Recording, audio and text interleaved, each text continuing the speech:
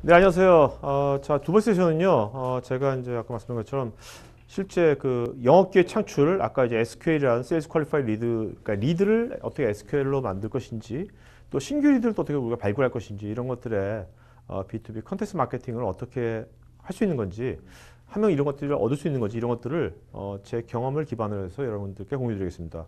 물론 이것은 제가 정답이라고 할 수 없지만, 제가 지금 현재 추, 추진하고 있는 것들이고, 네, 이런 것들이 지금 보여드린 이런 세 가지 고민들은 어, 모든 기업마다 다 갖고 있는 공통적인 고민들인 것 같아요. 그러니까 뭐 행사장에서 명함 받았는데 영업이 명함 받아왔는데 뭐 웨비날 해가지고 리드는 나왔는데 DB는 나왔는데 이것을 어떻게 영업 기회로 이거 전환시킬 것인지에 대한 고민들 또 우리가 오프라인 행사했는데 그거에 대한 가성비죠 결국. 네 돈을 얼마 썼는데 오프라인 행사에서. 이거 가성비를 더 높일 수 없을까? 네 왜 오프라인 행사 왜 똑같이만 해야 될까 뭐 이런 것들에 대한 것들 또 신규 lead는 또 어떻게 우리가 어 좀 스마트하게 창출하고 또 채널이건 영업들한테 어떻게 효과적인 sales kit를 줄 수 있을까 이런 것들은 뭐 그동안 이제 모든 마케팅 기업들의 다 공통적인 고민들, 고민들인 것 같고요. 그래서 이런 것들을 어떻게 어, 풀 것인지에 대해서 어, 제가 한 2년간 저도 이제 여러 가지를 지금 지금도 고민 중이고요. 토크아이티가 사실은 그동안은 이 세 가지 고민들에 대해서 저희가 저도 생각을 못했습니다. 저희도 이런 걸 안 하고 저희는 그냥 lead 발굴, 네, 그러니까 이런 생방송 토크 webinar를 통한 그 lead 발굴을 보통 지금까지 이런 이제 150개 기업들 글로벌이나 국내 기업들 대상으로 저희가 해오고 있었고요. 그래서 저희가 지금 지금까지 2,000회 정도의 저희가 그 이런 온라인 세미나를 진행했고 또 지금 저희 유튜브 채널은 또 4,600명의 구독자 수가 있습니다. 그래서 어, 이런 쪽으로서 저희가 뭐 국내에서 뭐 leading 기업이지만 이건 lead 발 초기 lead 발굴에서 가치가 없거든요. 그래서 이거를 초기 lead 발굴이 아니라 이 lead를 어떻게 영업 기회를 창출할 것인지 또 lead를 꼭 webinar가 아니라 다른 방법 없을까? 그 다음에 webinar보다 10배, 20배 훨씬 더 많게 하는 오프라인 행사. 지금도 어느 어딘가에선 지금 오늘도 지금 이 시각에 10군데, 20군데에서 지금 아마 크건 작건 간에 오프라인 세미나 행사가 열리고 있거든요. 그런 것들을 또 많은 회사들이 브로셔를 만들고 있고 종이 브로셔 지금도 이런 것들을 어, 떻게 좀 가성비 좋게 어, 콘텐츠와 디지털을 믹스해 가지고 그러니까 가성비가 참 중요하다고 제가 많이 느꼈어요 제가 어, 그래서 그렇게 하는 것을 어, 저 오늘 좀 공유 드리려고 합니다. 그래서 뭐 저도 이제 그뭐 저 옛날에 AR 전공했지만 사회생활은 저도 이제 기술 영업을 아주 진하게 했고요. 그 다음에 지금 이제 사업한 지는 지금 16년 됐고요. 그래서 다양한 특히 이제 2년간 여기 나와시 오른쪽에 있는 것처럼 다양한 이제 마케팅 프로젝트를 하면서 사업부랑 같이 방송이 아니라 사업본부랑 같이 마케팅 프로젝트를 하면서 저도 이제 많은 걸 배웠고 그런 것들을 아 이렇게 한번 해봐야겠다는 것을 어 이제 내년부터 본격적으로 시도하려고 그러고요. 그래서 지금까지 제가 특히 이제 어 올해 올해 올해 작년에 어 많이 했던 것들은 이제 영상 제안서, 영상 제안서라는 것을 만들어 가지고 뭐 한 다, 여기 보이는 다섯 군데에서 이런 것들 만들어서 어, 많은 효과가 있었습니다. 하지만 어, 영상 제안서는 굉장히 제 공수가 굉장히 많이 들어가요. 예, 그래서 아 이렇게 말고 좀더 어, 좀 가성비 좋게 할 수 없을까 하는 것을 많이 고민을 했고요.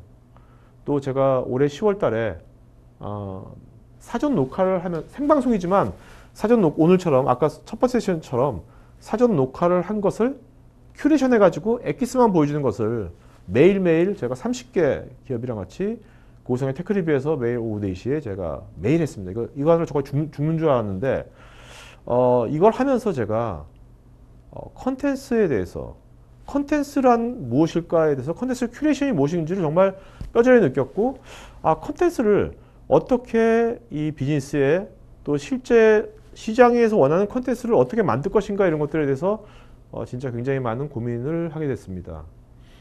음, 이것은 이때 제가 재밌는 실험을 해봤는데요. 10월 달에. 그 10월 달에 이렇게 여기 이제 메일, 메일, 어, 저희가 이제 오늘 같이 이런 webinar를 했습니다. webinar를 했는데, 처음에 webinar의 그 초대장이에요. 초대장은 사실 그거는 이제 큐레이션 하기 전이기 때문에 그 초대 문구가 좀 약간은 좀 뭐랄까요. 구체적이지 않은 거죠. 아젠다들이. 아젠다 구체적이지 않게 그 행사, 웨비나 행사 초대장이 나간 겁니다. 근데 그래서 제가 11월 달에 이 방송을 딱 끝내고 12월 달에 이거 끝내고 나서 끝내고 나니까 제가 이 개별 내용에 대해서 너무나 잘 알게 된 거죠. 그래서 어 11월 달에 재방송을 한 겁니다. 재방송. 어 재방송인데 물론 Q&A는 Q&A는 직접 이제 직접 오시지 않고 어 전화로 전화로 제가 라이브 Q&A를 하고 직접 제가 이걸 보여줬는데 단 재방송을 했지만 그 재방송 webinar에 그 안내 문구가 여러분 보시는 것처럼 굉장히 구체적인 아젠다가 나오는 거죠. 왜? 이것을 제가 이미 그 컨텐츠를 큐레이션 했기 때문에 어떻게 보면 그 IT 기업보다 더 구체적이면서 더 시장 관점의 아젠다를 제가 뽑을 수 있었던 거예요. 그래서 이렇게 저희가 그 EDM을 보내니까 그 사전 등록하신 분들이나 들어오신 분들이 어, 첫 번째보다는 좀 적게 들어왔지만 굉장히 정말 이 아젠다에 어, 관심 있는 있는 분들이 들어오더라고요. 왜냐하면 그건 어떻게 알 수 있냐면 그 댓글창에 질문의 그 순도라 할까요? 순도가 되게 다른 거예요. 그러니까 사실 보통 EDM이 여러분 행사 오프라인 행사건 웨비나건 EDM을 보낼 때 이렇게 구체적이지 않게 보내거든요 일반적으로. 그렇다면 그냥 보통 아 그냥 그 B2B인데도 어, 그 주에 안 맞는 분들도 들어오시기도 하고 바쁘다 보니까 그냥 들어오는 거죠. 일단 들어와서 일단 보는 거예요. 근데 사실 뭔가 회사에서 어떤 정말 그 중요한 프로젝트를 많이 하시는 분들이 굉장히 바쁘거든요. 그런 바쁜 분들한테는 우리가 컨텐츠를 보낼 때 굉장히 정제되고 구체적인 걸 보내야겠다. 그래야지 어떤 실제로 이런 만남이 이루어질 수 있겠다는 생각이 들었고요. 제가 이걸 12월 달에 하면서. 자, 이건 제가 그러면서 또 어, 11월 달에 어, 국내 국내 이제 많은 IT 기업의 어, 유튜브 채널을 제가 봤습니다. 보면서 한번 그 고객 인터뷰라든지 그 다음에 행사 행사한 것을 어, 지금 어떻게들 하고 있는지 한번 여러분 한번 보시죠. 짧은 한 2분간 영상 한번 보도록 하겠습니다. 협업하는 구조로 대출과 투자 자금 관리를 은행이 함으로써 금융사고 위험이 매우 낮습니다. 일반적인 스타트업이 부담하기에는 기존 온프라미스 인프라 구성의 초기 투자 비용이 만만치 않습니다. 금융업 특성상 보안과 이중화 구성에 필요한 인프라 장비를 구비해야 되지만 근데 그 프로젝트를 관리하고 그 프로젝트를 공유하고 어떤 결과물을 뽑아내기 위해서 서로 커뮤니케이션을 하고 하는 부분들에 엄청난 그 시간인들이 소요가 되거든요. 지금 이제 MS SharePoint나 아니면 Teams 이런 거를 활용을 하면 얘가 하고 여기서 더 추가된 하드웨어적인 기능들은 telemetry 기능들을 좀 더 추가해서 flow event라는 그, 플- 그 기능들을 추가를 했고요. line rate 암호화를 FX부터 지원을 하기 시작했습니다. 자, 여러분 그 아까 이제 고객 인터뷰에서 보면 거의 이건 뭐 그 모든 회사들 다 거의 똑같은데 고객 인터뷰 짧습니다. 짧고 영상 그, 그 영상미 있어요. 있는데 어 제가 보는 좀 아쉬운 점은 뭐냐면 그 인터뷰하는 사람이 사실 그 사람의 기술이나 이런 걸 잘 아는 사람이 인터뷰한 게 아니다 보니까 그 말하는 사람이 되게 좀 경직돼 있는 거죠. 그러니까 정보만 전달되는 거예요. 정보만. 그러니까 그것을 이제 어떤 상세하기 위해서 BGM을 깔고 이제 그 사실 그 사람 말이랑 정말 구체적인 자료 화면 아닌 거죠. 그냥 영상을 막 틀어 다른 영상을 틀어주는 거죠. 그렇게 가는 거죠. 그러니까 그러니까 이제 그것을 어, 너무 오래 길게 할 수도 없는 거고. 그러니까 B2B에서 정말 중요한 거는 사람의 향기인데 그 살아있는 사람의 향기의 냄, 그것이 잘 반영이 안 된다는 것이 좀 아쉬웠고요. 그 다음에 그 거의 모든 이제 거의 모든, 모든 회사들의 이 행사장, 행사, 오프라인 행사한 것에 그 컨텐츠를 절반은 거의 만들지도 않고요. 그나마 이렇게 시- 어, 이렇게 많이 만, 만드는 회사들 절반 정도 이렇게 만드는데 다 이런 식으로 어, 옛날엔 그냥 뭐 빔 그거 하는 거 했는데 잘 안 보이니까 자료화면이 이렇게 픽처 인 픽처를 이렇게 두 개 픽처에서 했는데 문제는 뭐냐면 이거를 어, 우리처럼 나중에 보는 사람 입장에서는 길이도 40분 굉장히 길고 저 발표한 사람이 지금 딴 데서 딴 곳을 보지 않습니까? 이게 여- 여기 안 맞, 시선이 안, 맞, 안 맞으니까 집중도가 이제 떨어지는 거죠. 이런 것들이. 그리고 25G 서버, 그리고 과연 서버 연결 25G를 어, 위해서 누가 요즘 이 그광 행사한 연결을 거 지원하기 위한 표준 어차피 하드웨어적으로 지원하는 것들이 포함이 그 되어. 있겠지만 우리 같이 on-demand 보는 사람이 요새 우리가 어, 본방 사수 안 하는데 이것을 40분짜리 다섯 개를 다 볼까 어, 이런 의문도 많이 들었고요.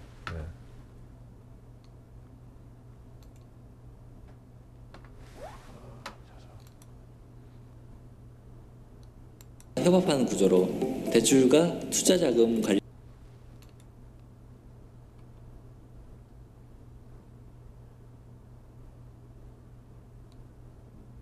협업하는 구조로 대출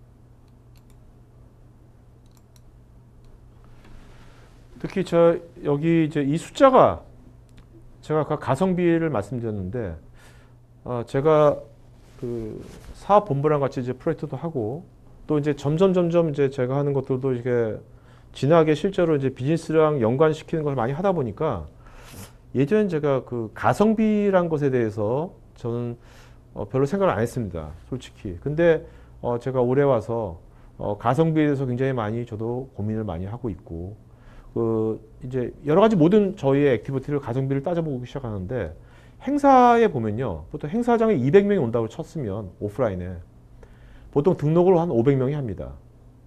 그리고 500명이 등록을 하기, 위해, 하기 위해서 적어도 10배 수인 5,000명한테 뭐 이메일을 보내건 뭐 영업이 가서 초대장을 주던 뭐 해가지고 해서 결국 우리가 컨택한 5,000명 중에서 한 5%? 네. 5%인 200명이 참석하는 거죠. 그러면 95%는 우리가 돈과 시간과 에너지를 써가지고 정말로 우리가 기획을 몇 달간 해가지고 한- 했던 그 중요한 메시지와 그 컨텐츠를 나머지 95%는 못 보는 거죠. 물론 행사가 끝나고 나서 뭐 자료 화면, 자료 뭐 이메일하고 그 다음에 뭐 아까 같이 40분짜리 뭐 여섯 개, 몇 시간짜리를 보내줄 수는 있죠. 근데 과연 그걸 누가 보겠습니까? 몇 명이나 보겠습니까? 그것을. 그러니까 저는 이런 것을 그 행사할 때 크게는 몇 억, 적게는 뭐 1, 2천만이 들어가는데 그러면 그, 그 돈 대비 근데 우리가 커버하는 것은 5, 5%고 95%가 커버를 못한다면 그것을 좀 어떻게 그 가성비를 높일 수 그러면 어떨까 하는 것을 어, 고민을 올해 참 많이 했습니다. 그러니까 이것은 어, 뭐 토크 아이- IT하고 상관이 없는 거고 또 웨비나하고 상관이 없는 겁니다. 이건요. 네. 자 그래서 어, 여러분 한번 제가 어, 그, 어, 영상 이런 것들을 좀 짧고 진하게 짧고 진하지만 뭔가 좀 사람의 향기가 나게 아, 그래서 그렇, 그렇게 좀 만들어 보면 어떨까 우리가 브로셔가 있는데 브로셔가 아니라 좀 영상 브로셔처럼 그런 걸 좀 만들면 어떨까 하는 것들을 어, 지금 여러 가지를 좀 시도하고 있고요. 그래서 그 행사장에서 한 것도 어, 저렇게 아까 같이 40분 그렇게 할 게 아니라 뭔가 다른 방식으로 훨씬 더 생동감 있게 어, 할 수가 있거든요. 이제 그런 것들을 좀 어, 내년부터는 굉장히 어, 다양한 분야에서 시도하려고 그러고요. 한번 샘플을 한번 보도록 하겠습니다, 여러분.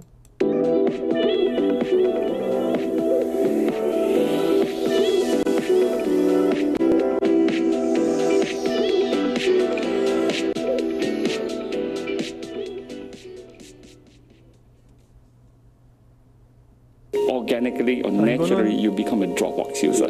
That's how we have the viral effect of people loving our product.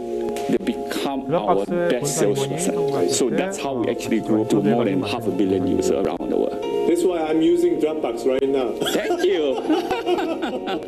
we have very high uh, activation rate and usage rate because people love Dropbox and it's so easy to use. The users are happy and they say, "Hey, good job, IT manager." I like it. We have very good success in Japan. In conclusion. Do you expect us 그러니까 제가 그 이 내용을 잘 알기 때문에 저도 뭐 인터뷰를 하면 제가 지금까지 2천 명 이상을 인터뷰했기 때문에 이 기술하고 제가 영업 그 다음에 어떤 인터뷰 이런 것들을 제가 많이 했기 때문에 저는 이 사람의 그 기술적인 본질을 잘 이제 끄집어낼 자신이 있거든요. 그래서 그거를 끄집어내고 그 다음에 같이 이렇게 어떻게 보면 인터랙티브하게 하니까 구태여 BGM을 깔지 않, 그 식상한 BGM을 깔지 않더라도 굉장히 그 이거 자체가 그 집중도를 높여주거든요. 그래서 이런 것들을 앞으로 이런 포맷을 앞으로 많이 하려고 그러고요. Same good result happen in Korea. Okay. we expect more.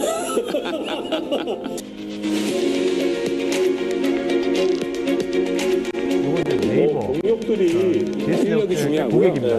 그 대부분의 형태의 인터넷 비즈니스는 다 정해진 틀에. 갖다서 그냥 맞춰 쓰는 것보다는 하나의 팀인 것처럼 네. GS도 사실은 저희와 같이 하면서 많은 노하우를 가지게 된 것도 같이 커뮤니케이션 하면서 때로는 싸우면서 예, 하나의 그 프로젝트를 완성하기 위해서 진행하는 게 상당히 중요하다고 봅니다. 싸우자십니까? 그렇진 않습니다. 안녕하십니까. GCPD 고소입니다. 모든 것이 연결된 시대에 그러니까 아까 드랍박스도 그렇고 지금 GS 네오텍 뭐 고객도 그렇고 일단은 얼굴이 얼굴이 살아있지 않습니까? 그 그러니까 단순하게 정보만 전달할 거면 정보만 들고 우리가 왜 들어야 됩니까? 그냥 글을 봐도 되는 거죠. 그러니까 저는 정보가 아니라 거의 감성이 들어간다고 생각하거든요. 그래야지 우리가 특히 B2B에서는 그 더 훨씬 더 그 주의를 끌게 될 것이고 나중에 거- 결국 여기 나온 사람이 또 만나게 될 것이고 그래서 어 그런 것들을 그런 것들이 되게 중요한 포인트가 아닐까 우리가 특히 B2B 컨텐츠를 만들 때는 요거 세팅하는데 한 3분 정도가 걸리는 이건 거예요. 이제 그 매- MS Azure 클라우드의 그러니까 고객입니다. 처음엔 정말 충격이었죠. 세상에 옛날 같았으면 Akamai 불러서 CDN 물어보고 견적 받고 이- 이랬어야 될 시기가 이제 클릭 몇 번으로 그러니까 끝나는 이런 것들이 문제니까. 이제 뭐 영업들이 베트남도 시장이 재밌어요. sales kit로 이용할 수 있는 인구의. 절반이 인터넷 쓰는데 그게 5천만이고 네. 거의, 거의 1억이죠? 거의 9천만이죠? 네, 네. 음. 5천만 중에 95%가 유튜브를 쓰고 있어요. wow. 우리나라가 이건 아까 이제 효성 인포메이션, 효성 인포메이션 빅데이터 플랫폼 관련돼가지고 어떤 재료가 소진된 걸 미리 알면은 원재료를 구매할 때 적정 원재료를 구매하고 그렇죠. 보관, 유통 비용이 굉장히 최저화될 수 있기 때문에 그 효과는 굉장히 큽니다. 사실 ERP에서 어, 웨비나를 재고 해서 관리가 기본적으로 한그 뭐 30, 키이시지 않습니까? 예. 5분짜리 이런 제 있었는데 그 기능들도 다 들어가 있는 아니, 거고 ERP하고 기능들이 아니라 연계도 많이 돼야 되겠네요. 사실 가장 시장에 어떤 문제를 어떻게 생각해요. 풀 왜냐하면 것이고 우리가 본질적인 것만 뽑아내면 사실 그 데이터 뭐 굉장히 없는 거거든요. 다양한 네. 그러니까 부분만 않은 데이터를 많이 관리하는데 사실 ERP 안에 있는 어마어마한 정형 데이터들을 우리 충분히 이용하고 그렇죠. 있나라는 그렇죠. 이슈가 사실 한번 고민해 볼 수 있습니다. 네 네 네.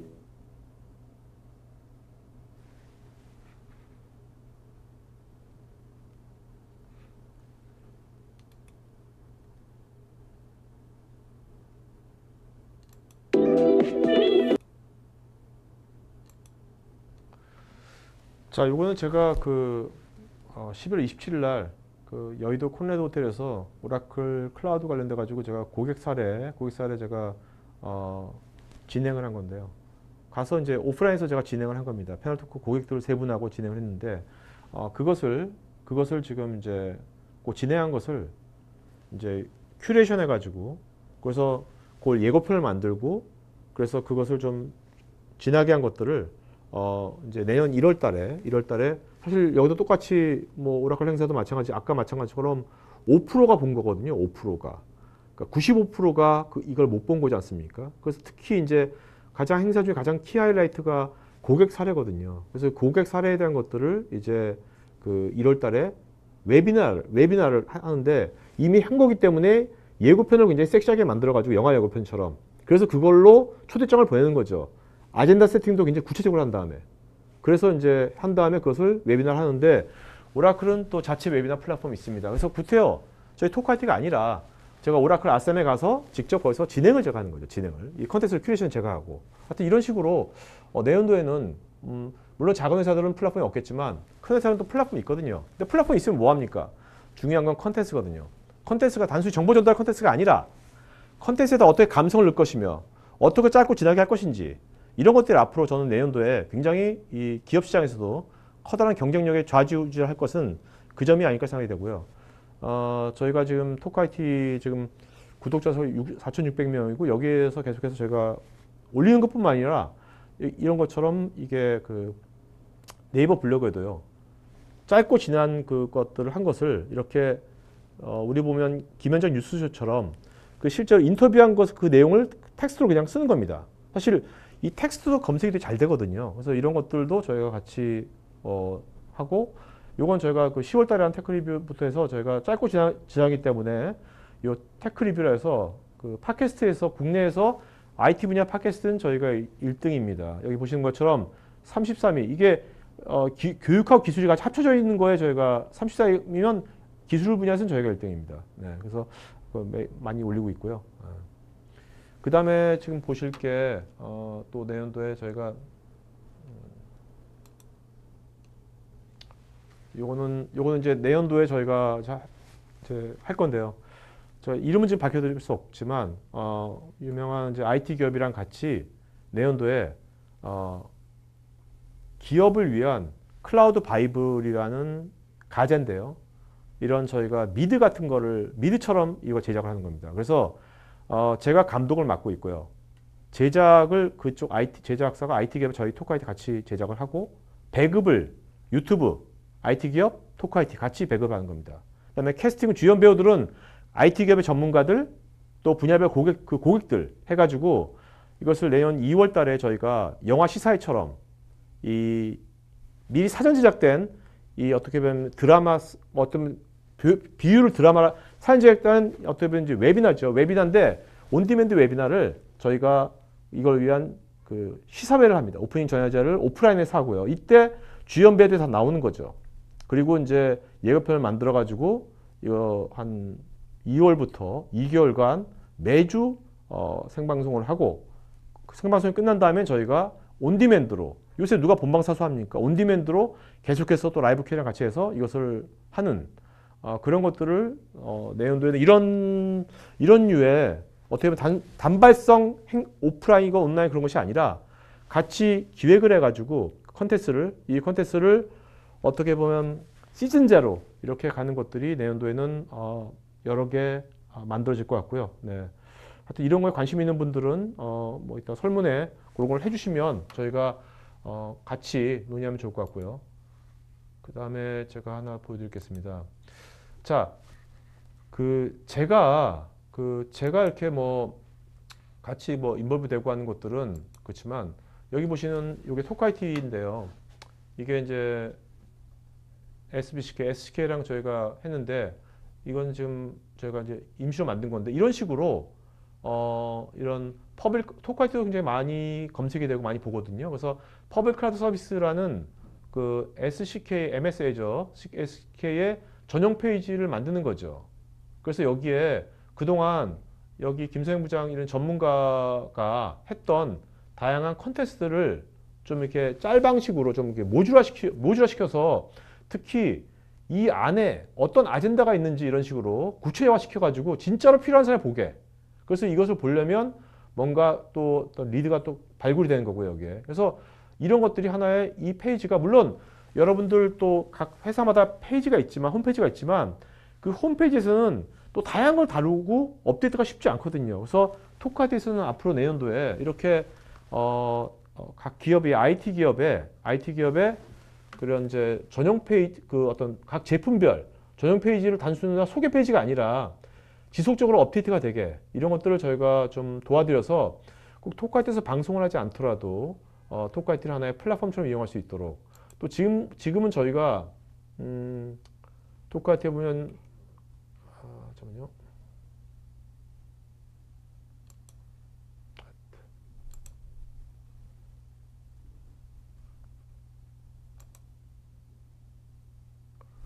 지금 아 여기 좀 잘 안 나는데 임시 페이지에서 좀 잘 나오는데 여러분 아 토크아이티가 지금은 그 온라인 세미나만 편, 편성표가 보이는데 아시다시피 온라인 세미나보다 오프라인 행사 훨씬 더 많이 하거든요. 그래서 내년도에는 어, 이 오프라인 행사 같은 것들에 대한 일정 같은 것도 저희가 어, 많이 저희가 그 저희 회원들한테 알려 공유해드리고 또 거기에서 나오는 좋은 컨텐츠들을 좋은 컨텐츠를 저희가 해서 아까 우리가 커버하지 못했던 95% 95%를 커버할 수 있게 어, 저희가 도와드리려고 합니다.